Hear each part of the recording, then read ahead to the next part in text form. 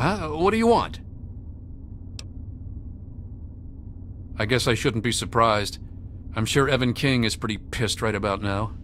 I bet he has the entire town out looking for me. He's worse than my parents.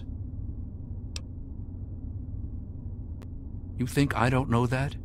You think I don't know what I did?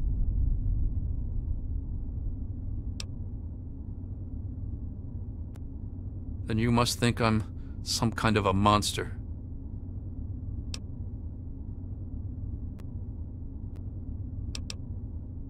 Help? How can you help? There's something inside me, something completely messed up. I'm a mutant, a fucking freak. The only person I was ever able to talk to was my sister Lucy, and she's gone.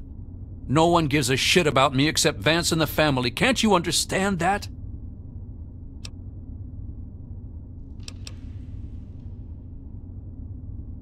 Thank you for understanding. This place is all I've got, and I don't want to lose it.